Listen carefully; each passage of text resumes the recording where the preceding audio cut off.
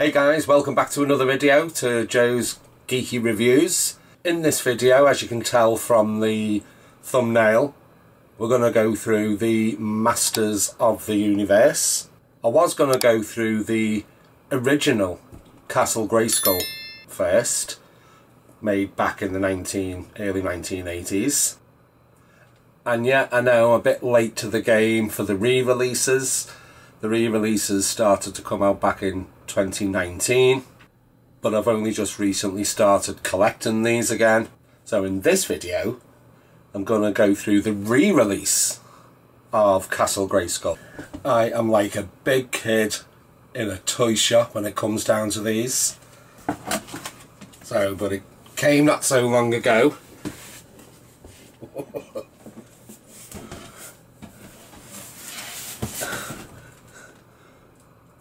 Just look at the box art on this.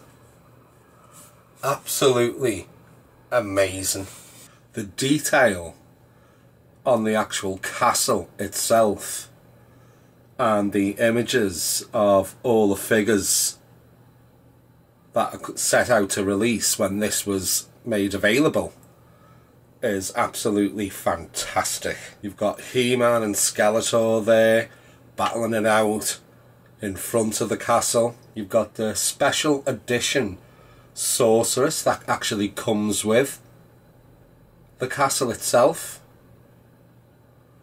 Then around the castle you've got Merman, Man at Arms fighting there. You've got Teela actually fighting Trapjaw, Beastman with Man-E-Faces, Battle Cat tackling Panthor, Stratos coming down, flying down, Zodak at the top of the castle, and in the corner, and in the corner you've got Evil-Lyn there with Triclops, with Skeletor's henchmen, which by the way are coming this year, 2023.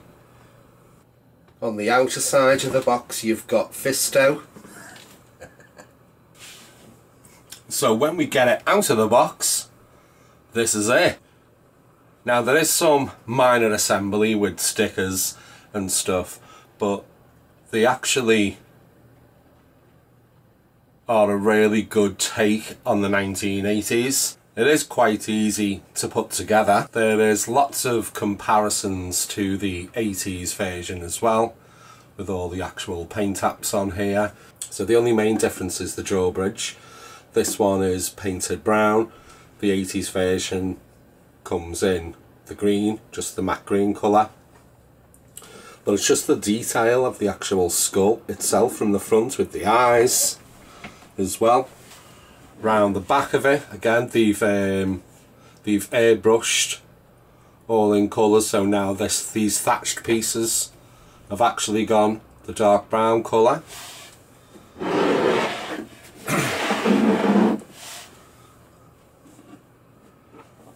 And I know this, this is quite faint, but there's like little white splatters over it. Not that many. So, but it looks as though someone's gone with like a, a toothbrush effect and splattered white, white paint across it all. To actually open it, you've got these little hooks. Back in the 80s, they were the big clamps that could easily break off. But these are actually just perfect, they just slide out and around.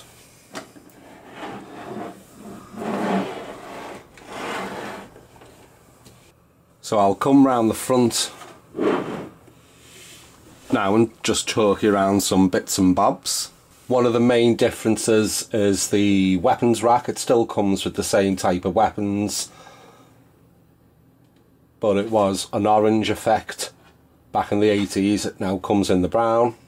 So this plastic weapons rack here came in a paper print back in the 80s. I thought I would download and print that off, just a bit of nostalgia to keep it in line still with the 80s. You've still got the lift that pulls up by a little gargoyle and you can hook it underneath. It's got still got your laser cannon like it was back in the 80s. The flags, these little flags here underneath the ledges are now made of material like ribbon. Back in the day it was just stickers that used to hang from underneath. And you've still got your trapdoor, where as the throne you'll have the sorceress or whichever character on the throne and as you turn it inwards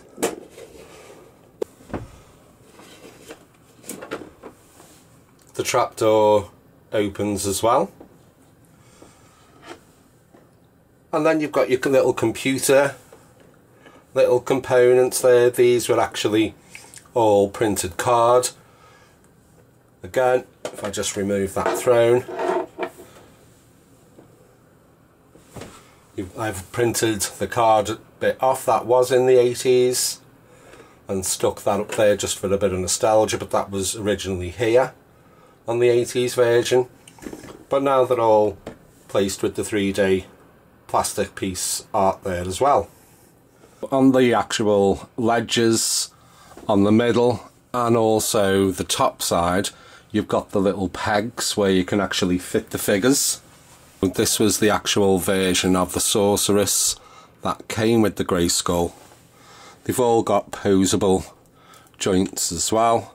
So arms, legs, at the knee, hands, head, so on and so forth, like a figure should be.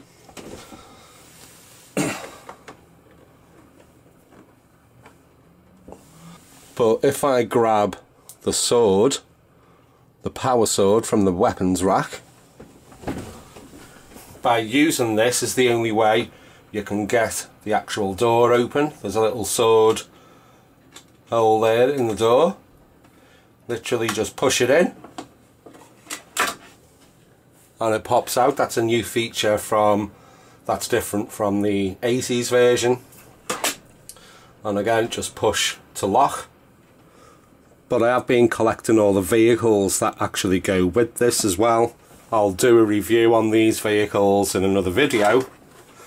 But this actually pops off here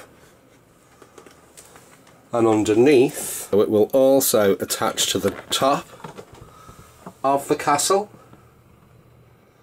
On one of those ledges. It will actually close over as well with that still attached which is quite a good feature of it. But there you go. There's my little cheeky review of the updated version of Castle Grayskull there is a lot of videos like this on YouTube as well. Some of them that I do subscribe to.